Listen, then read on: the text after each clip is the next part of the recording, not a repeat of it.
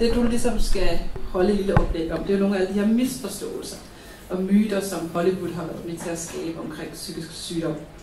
Så hvis du ellers er klar, så er de næste 40 minutter dine. Okay. Super. Giv sin hånd.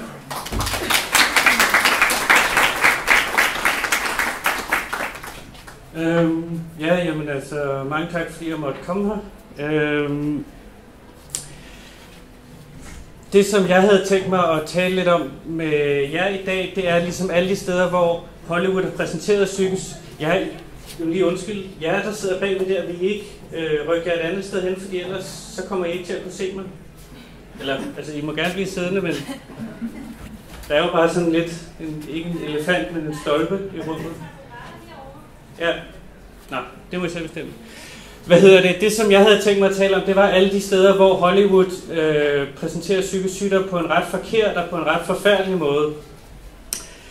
Øhm, øh, grunden til, at det overhovedet er vigtigt at snakke om det, synes jeg, det er, at øh, det er ligesom ved at prøve at se nogle af de ret forfærdelige øh, billeder, der er blevet lavet sådan i tidens løb, at man måske også får en fornemmelse af, hvor vigtigt det er med sådan en festival øh, som den her. Øh, og man også får en fornemmelse af, hvor vigtigt det er med sådan noget som PsykInfo, øh, som informerer, og hvor vigtigt det er med sådan noget som øh, Outsideren, som også øh, informerer. Øh, det, som jeg har tænkt lidt over sådan i forbindelse med at lave det her, det er, at øh, nu har jeg været her de sidste par dage, og der har været helt vildt god stemning og sådan noget. Ikke? Altså, når vi laver festivaler, det er hyggeligt, og filmene er fede, og alt muligt. Ikke? Øh, øh, øh, hvor øh, den stemning, som jeg ligesom havde tænkt mig at tale ud fra, det var egentlig mere sådan, sådan lidt horror, øh, og også for at berøre nogle lidt, nogle lidt dårligere ting. Øh, så, så, så jeg har ikke anlagt det så festligt, som jeg måske ellers kunne have gjort.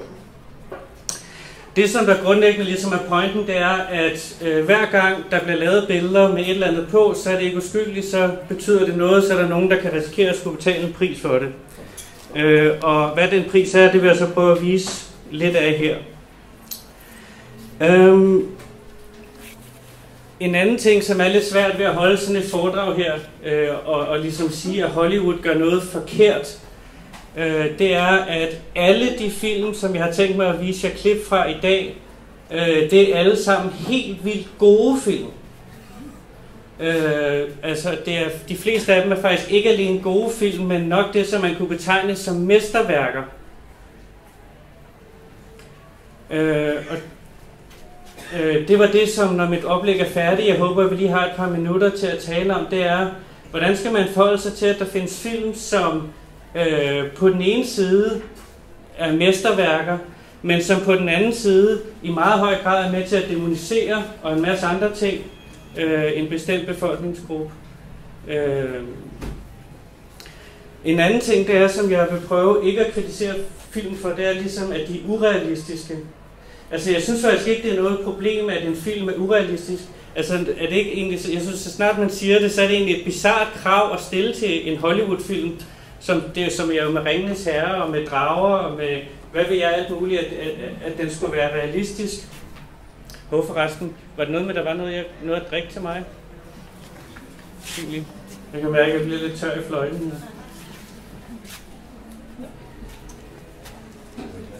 Nej, det er Tak. Skål. Godt. Nå. Så altså, det man skal diskutere med Hollywood-film, som jeg synes, der er spændende, ikke? det er mesterværker, og de er forfærdelige på samme tid.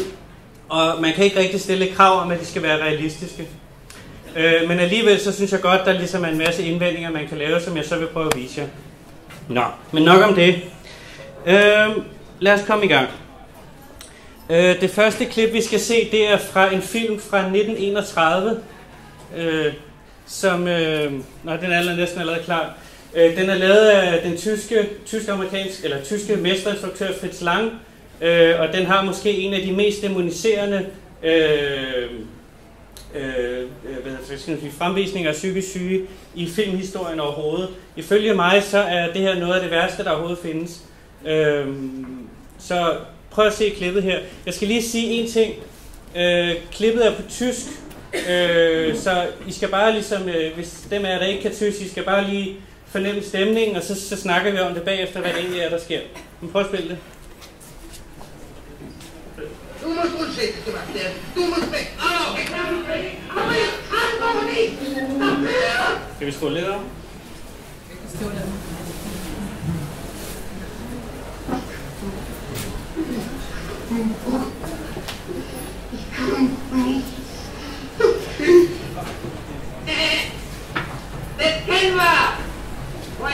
Gericht kennen wir alle nicht dafür!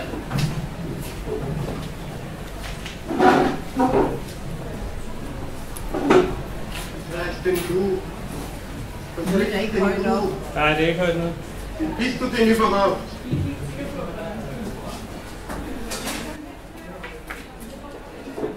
Wer seid ihr denn? Sådan der, perfekt. Alle miteinander.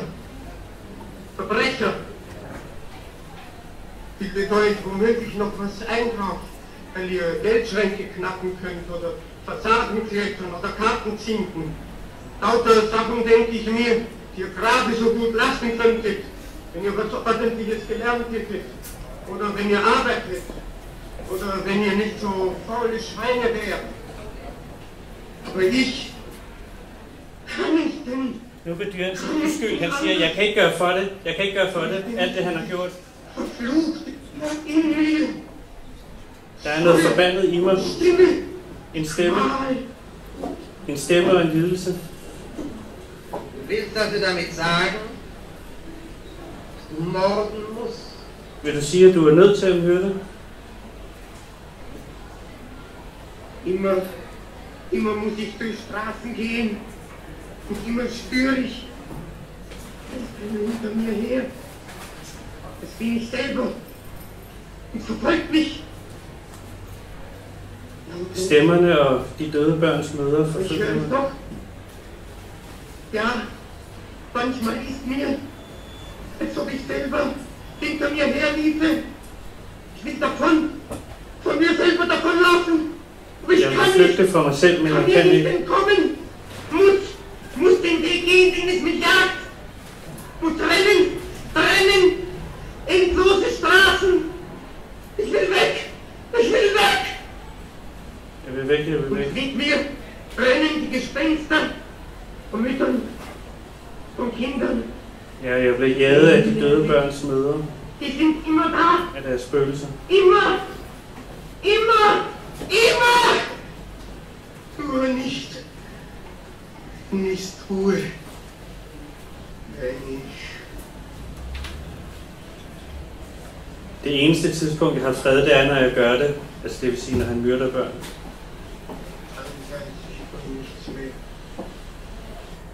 Sådan der. Så bare stop nu.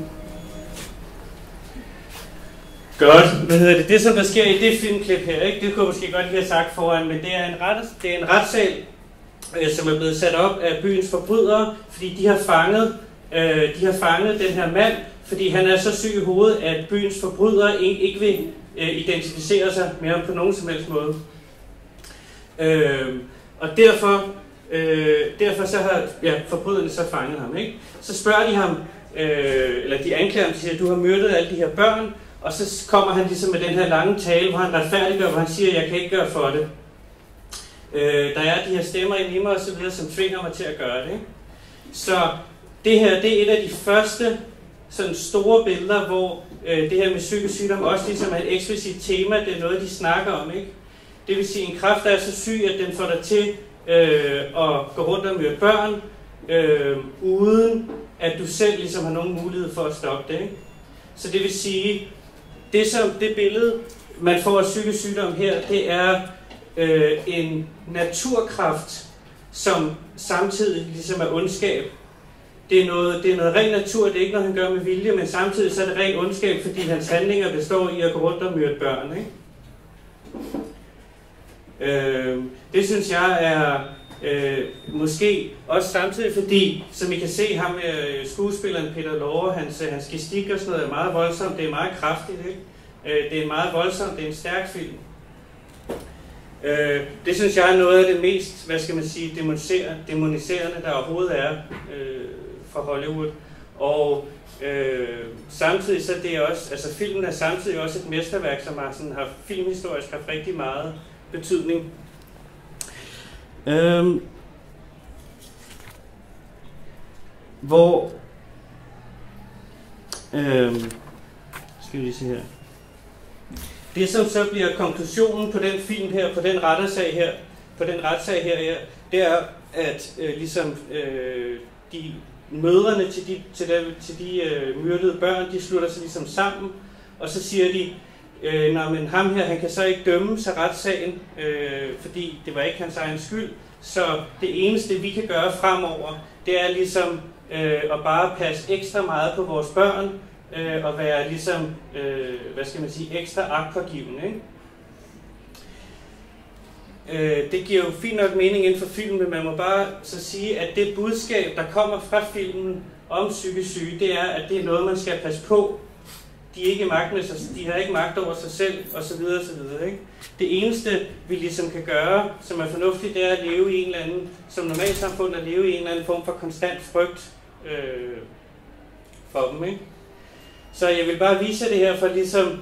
Øh, øh, for at give en fornemmelse af, hvad det her demonisering af psykisk syge betyder.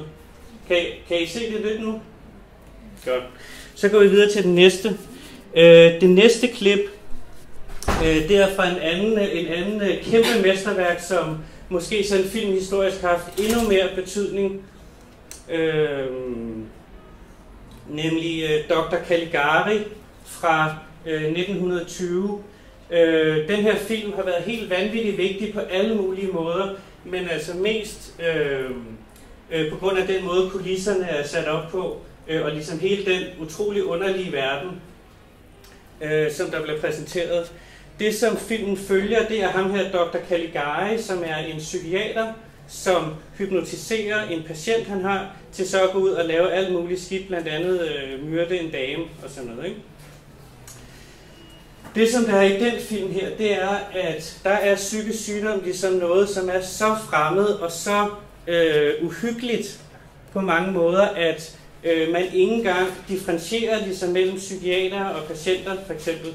Altså det er ikke ligesom senere i, øh, i 70'erne og sådan noget, hvor ligesom, så sagde man, at psykiaterne var onde, men patienterne var gode, for eksempel. Ikke? Her, så er det bare alt, hvad der overhovedet har noget at gøre øh, med psykisk sygdom, det er så, det er så sygt, og det er så forvrængende, at øh, man kan se, altså hele filmen, hele billedsproget i filmen bliver virkelig, virkelig syret.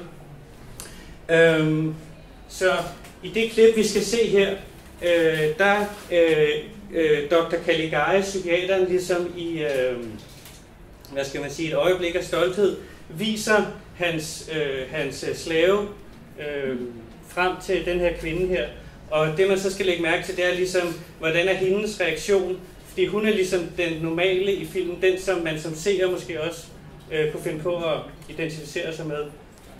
Så prøv at afspille det.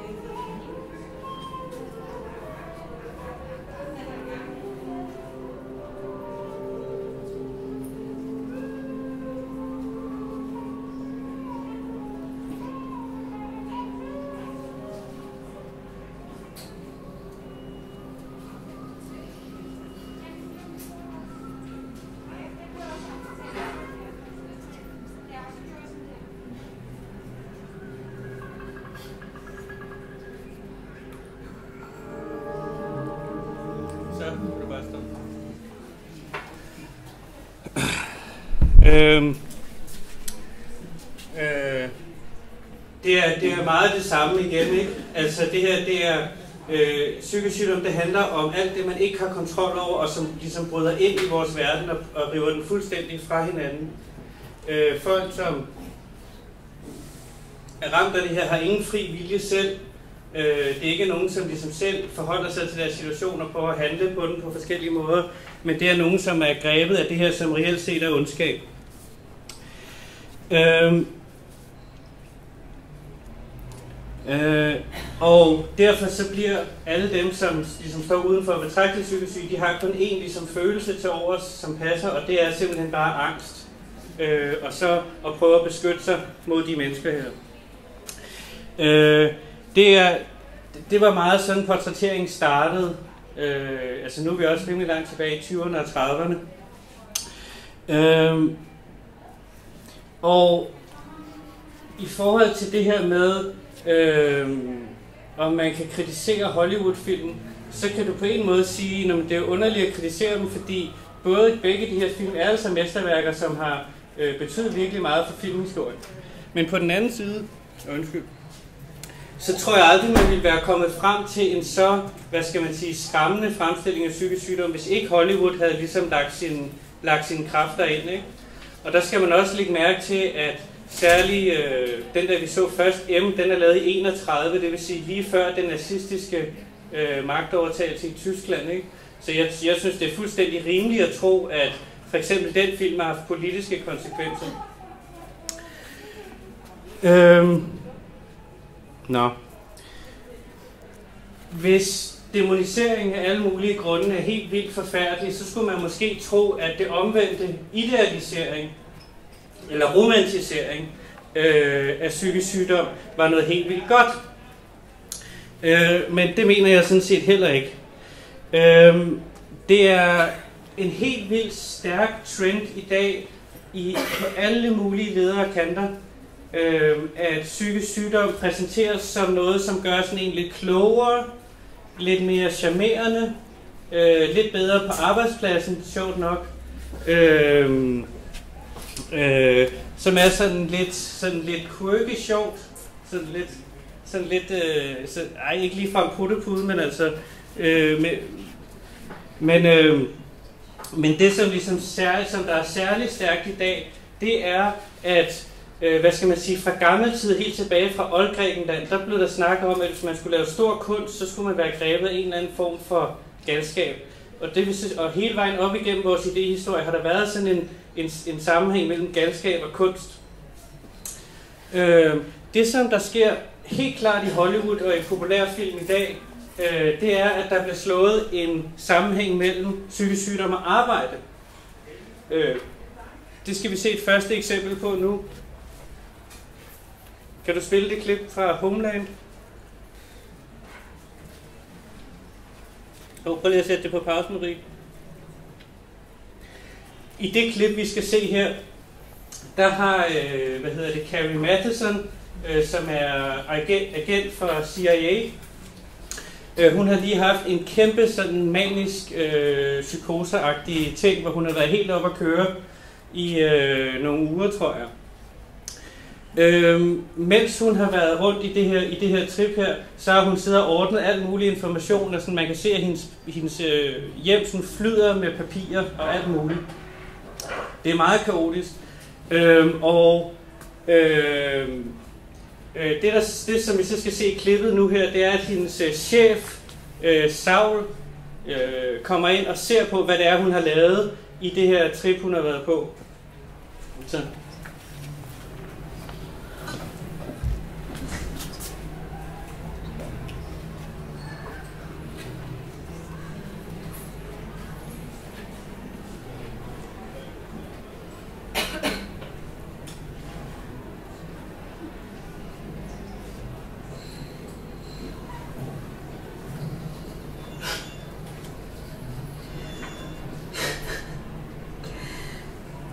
you understand? It's a timeline. Yes. It's Abu Nazir's activities. Were you up all night? More or less.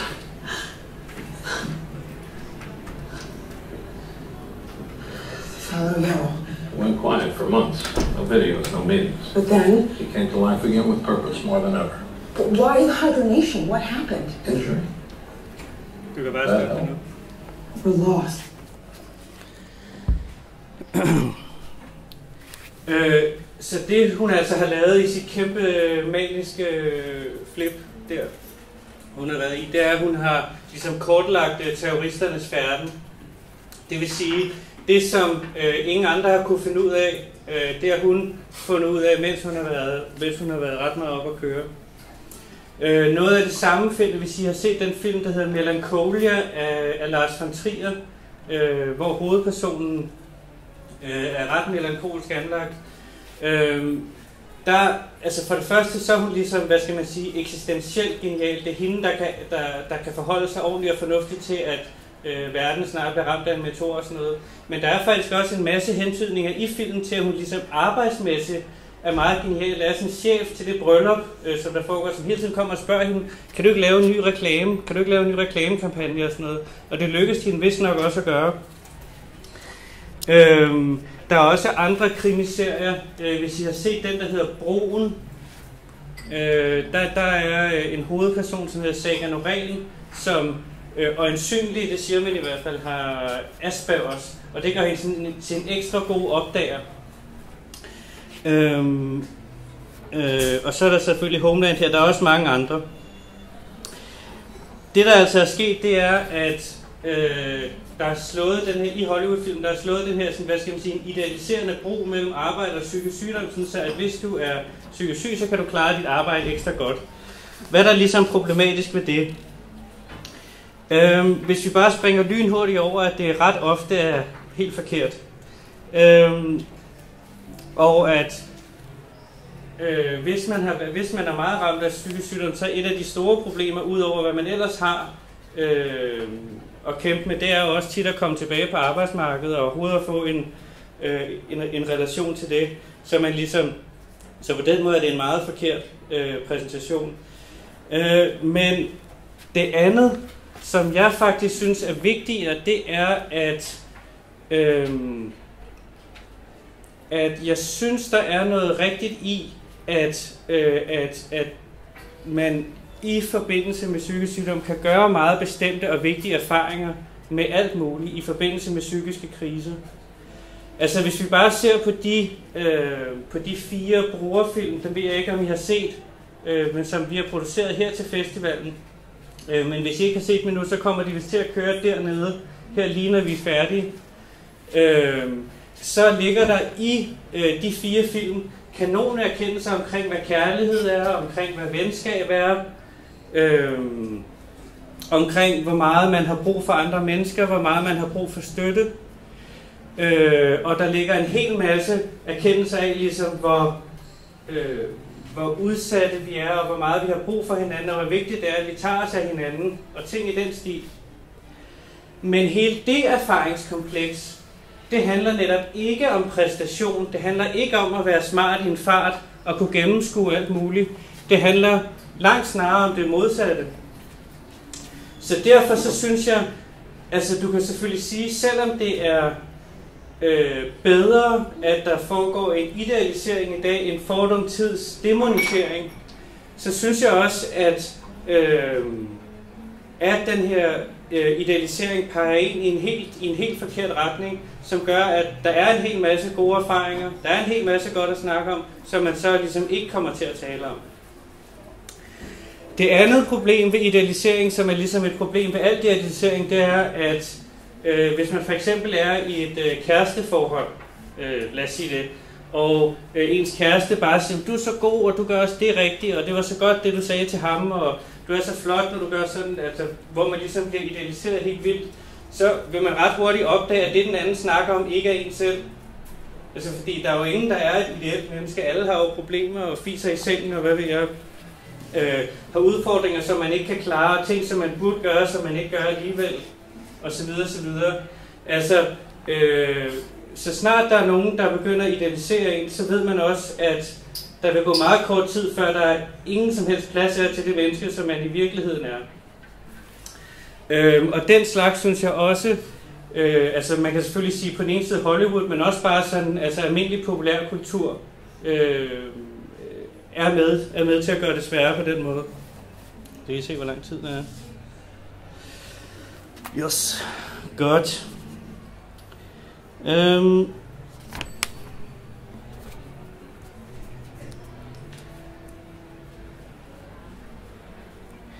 En helt tredje måde, som jeg synes, der er mange øh, Hollywood-film, som er problematiske på, det er den måde, de er psykiatrikritiske på, Øhm, altså, fra mit eget ligesom, personlige standpunkt, så er jeg faktisk enig i, at der er masser af ting, som man godt kunne øh, kritisere i psykiatrien, og masser af måder at tale på og måder at tænke på, som man godt kunne gøre noget andet ved, som kunne være meget mere fornuftige for alle. Øh, og meget mere rummelige og sådan noget. Øh, og så skulle man jo tro, okay, når hvis jeg er kritisk over for psykiatrien, så må der være glad for andre, der også er kritisk over for psykiatrien. Men det er jeg ikke. Øh, øh, jeg vil prøve at vise jer, øh, hvorfor. Øh, hvad skal man sige? Øh, det ultimative hovedværk øh, inden for sådan populærkulturel psykiatrikritik, det er øh, den film, der hedder Gøgereden. Øh, hvor mange af jer har set den? Okay. Okay. Fedt, mand. Hvad hedder det? Øh, øh, Øh, det, som der er problemet i Gøgereden, så vidt som jeg kan se, det er, at den præsenterer sig som om, den er en film, som er kritisk over for psykiatrien. Ikke? Og der er også mange, der har set filmen, og så tænker man bagefter sådan, åh, de psykiater, eller hvad man nu tænker. Øhm, men det den rent faktisk præsenteres for, det er ikke et system, der er noget galt med, men det er en enkelt person, som er pisse ond. Det er et kæmpestort problem. Øh, det findes også i film, som der er for eksempel en film, der hedder 12 Years a Slave, som er sådan meget kritisk over for slaveri. Øh, også øh, en god ting at være kritisk overfor. Men den gør lidt det samme. Den viser ikke, hvad der var galt med selve slaverisystemet, men den viser bare, at der var nogle enormt onde mennesker, som gjorde onde ting. Men jeg vil dog våge at påstå, altså uanset om man ellers kan være kritisk over for psykiatrien, det, altså, det er ikke fordi, der er flere onde mennesker, end der er i hvilket som helst andet, hvilket som helst andet sted. Altså, så det vil sige, så snart man laver en kritik af et eller andet, men baserer det udelukkende på ligesom moralske kategorier, altså at folk er onde, som øh, Nurse Ratchet, hvis I kan huske hende i, øh, i Gøgereden, hun er, øh, så misser man fuldstændig alt det, som har med selve institutionen at gøre. Det, alt det får man slet ikke diskuteret, fordi man er så fokuseret på den her ene, øh, på det her ene forfærdelige menneske. Øh, og det synes jeg jo er problematisk for så vidt som, at øh, rigtig mange mennesker, som øh, har et længerevarende og intensivt forhold til psykiatrien, jo netop kommer enormt meget, eller ofte kommer enormt meget i kontakt med, øh, hvad skal man sige, velfærdssamfundet institutioner. Altså ikke bare den psykiatriske afdeling, men også distriktspsykiatrien og jobcenteret og øh, den praktiserende læge og øh, hvad der nu ellers, rehabiliteringsteam eller øh, hvad der nu ellers findes af alle mulige afarter, ikke? Øh, og jeg tror faktisk, at øh, rigtig meget, mange af de problemer, man har, det er min fornemmelse, det er ikke noget, jeg kan bevise, men det er min egen fornemmelse, at mange af de problemer, man får, ud over det, som man måske direkte har at kæmpe med, det har netop at gøre med, hvordan man spiller sammen med de her institutioner. Øh, men hele det aspekt er, øh, er den her populær, altså blandt andet øh, gøgereden med til faktisk at skjule. Øhm. Nå. Et andet øh, øh, aspekt ved gøgereden, øh, som også ligger i rigtig meget, øh, i rigtig meget øh, portrættering af psykisk syge i populærkultur, det handler om udskamning af patienter. Øhm, det har faktisk undret mig, at der ikke er flere, der har været opmærksom på det i forhold med Gøreden. Men, øh, men øh, jeg vil lige prøve at vise jer et klip, hvor jeg synes, det der foregår, øh, det er en meget kraftig øh, og meget voldsom og utrolig grov øh, udskamning af, af patienter. Øh, de sidder i en gruppe, i en gruppe øh, session, og øh, Jack Nicholson, som er, øh, hvad hedder han, McMurphy, øh, han finder ud af, at hans medpatienter ikke er tvangsindlagt. Øh, det er det, som scenen handler om. Du må gerne starte den. Knowing how much I had to lose, and you never told me nothing. Now, Mac, wait a minute. Wait a minute. I didn't know anything about uh, how much. Wait a minute. Now listen. Uh, uh, now look, I'm I'm voluntary here. See, I'm not committed. I don't have to stay here. I mean, I can go home anytime I want. You can go home anytime you want. That's You're it. bullshit. No. Oh. He's bullshit, right? No, Randall. He's telling you the truth. As a matter of fact, there are very few men here who are committed. This Mr. Brown, Mr. Tabor, some of the crimes, and you.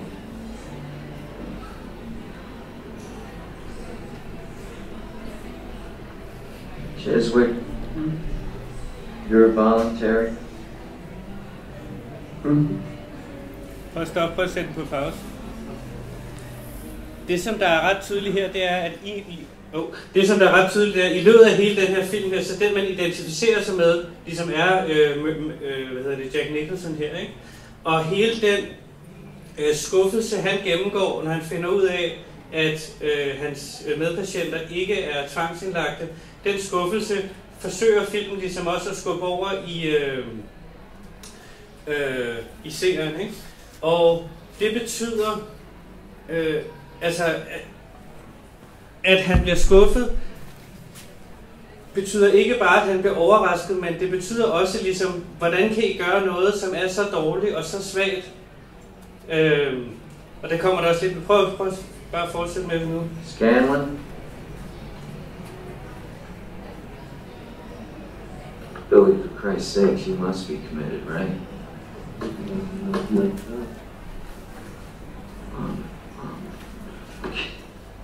You're just a young kid. What are you doing here? You ought to be out in a convertible, what? bird dogging chicks and banging beaver. What are you doing here? For Christ's sake, funny about that. Jesus, I mean, you guys do nothing but complain about how you can't stand it in this place here, and then you haven't got the guts just to walk out. What do you think you are, for Christ's sake? Crazy or something? Well, you're not. You're not. You're no crazier than the average asshole out walking around on the streets, and that's it. Right. Altså det, som er hans, øh, ligesom, hvad skal man sige, øh, det som han siger, ikke, det er, at når man der er ikke forskel på folk, der er indlagt eller ikke indlagte, så øh, det, at I lader indlæg, betyder ligesom, at I ikke kan håndtere jeres frihed, øh, som øh, var en af de helt store anklager, særligt her i 70'erne, øh, ligesom det der flugten fra friheden og sådan noget.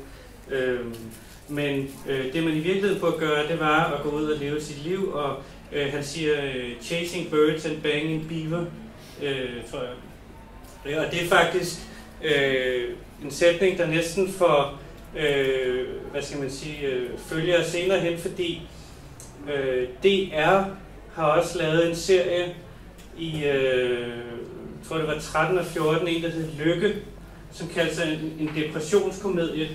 Øh, og det er altså formentlig den mest sexfixerede serie, jeg nogensinde har set. Men den handler blandt andet om tre folk, øh, som har en psykisk sygdom. Jeg tror, det er en, øh, noget depression hovedsageligt. Øh, og kuren for dem alle sammen, det er simpelthen bare at begynde at knalde.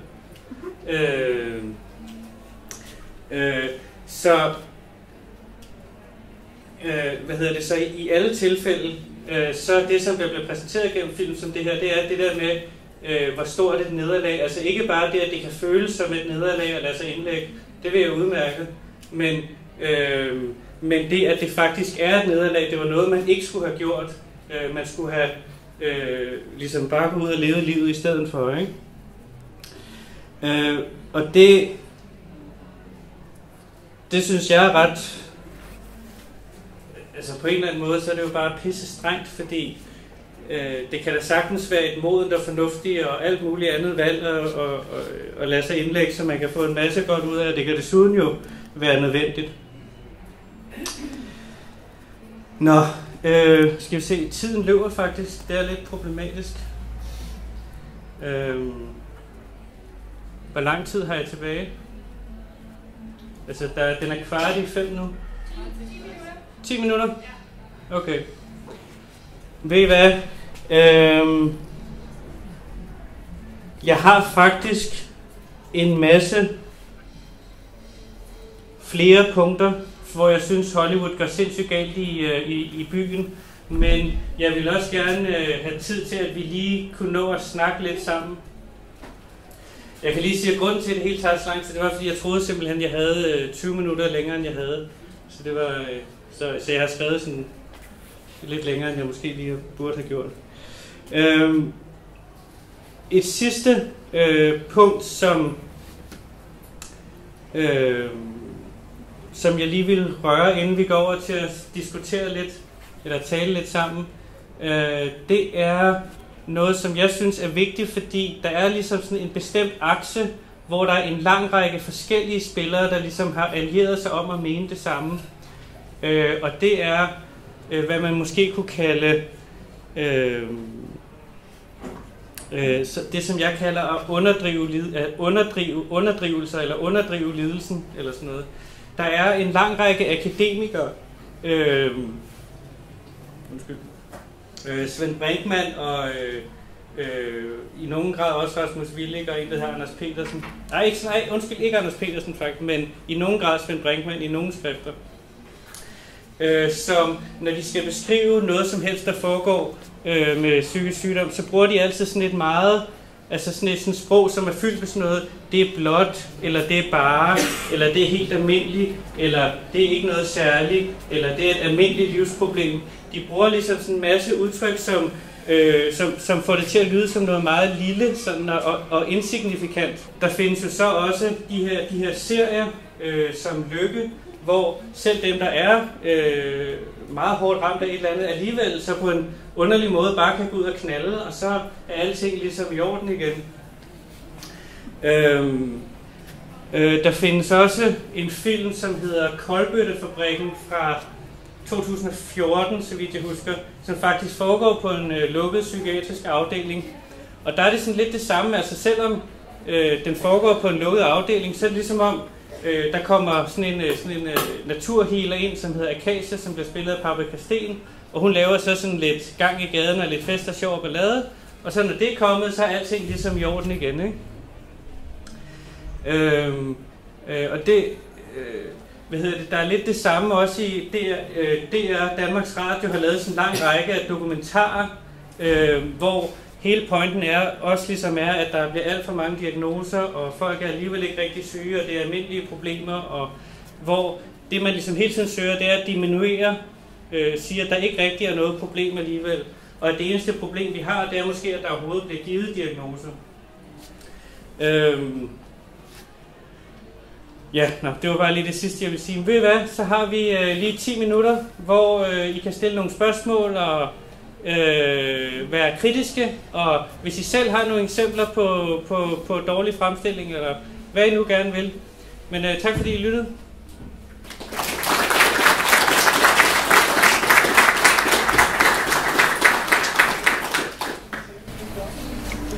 Ja, jeg hedder Lene, øh, og jeg er mange år i psykiatribruger.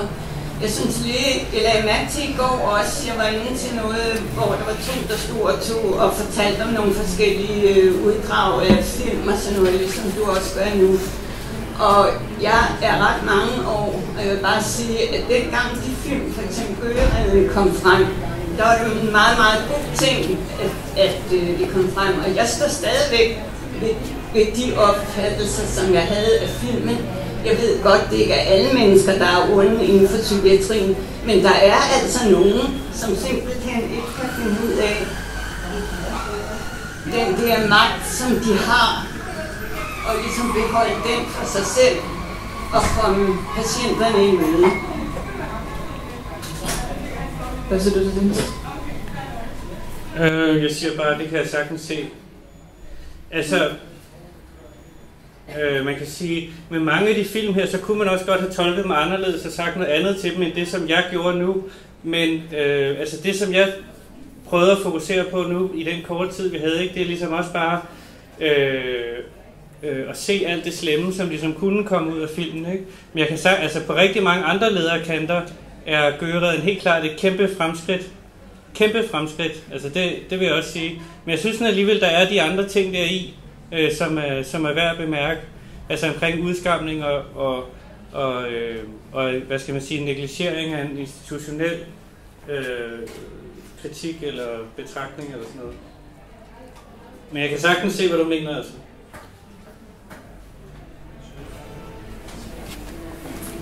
Hvad er det så? Hvad elsker og psykiske brugere. Øhm, Gøgeredden, det kunne også have den effekt at nogen, der kunne trænge til indlæggelse, ikke turde lade sig indlægge. Altså, det har jeg også selv oplevet for tre år siden, ikke? Hvor, jeg, hvor jeg ligesom identificerede mig med Jack Nicholson og tænkte, det er ikke noget lort om de er indlagt. ikke? Og så bliver man indlagt, og så er der også noget lort, ikke? Så ligesom en bekræftelse på Gøgeredden, ikke? Men det behøver jo ikke være sådan. Nej, nej, nej det gør det ikke. Der er ikke... Øh, Mm. Jeg synes jo, at på en måde det handler om, at, at man kan se, at stereotypi aldrig passer på nogen. Øh, De stereotypier, som man bliver præsenteret for i gang, og også den trafik kommer frem med det, det passer aldrig på nogen. Det passer sådan nogenlunde på, og et eller andet, er aldrig på nogen. Så det må altid handle om at, at åbne sind og møde det som menneske, som er i en eller anden situation. Og passe lidt på med sine stereotypier det hele tiden ikke være for firkantet i, i mødet med, med mennesker, selvom de har en sygdom, så, så er der ikke nogen øh, noget billede af det sygdom, som kommer til at passe på nogen alligevel. Ja. Ja, jeg vil spørge, har du et eksempel på en film, der undgår faldgrupperne der, som sådan kan finde ud af det? Fordi jeg tænker, der er rigtig mange, hvor man kan finde elementer af alt det, du bliver beskrevet. Det var bare, ja, du havde